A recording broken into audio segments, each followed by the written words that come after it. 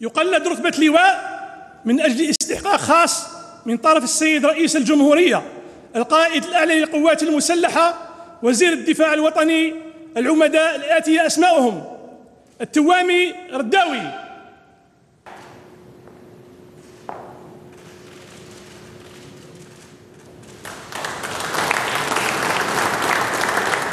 عاشور بوقرة.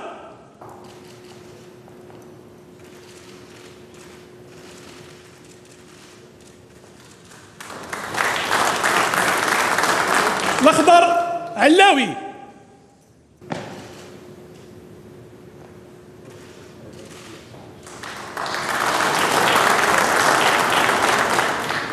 محمد الشريف حفصي.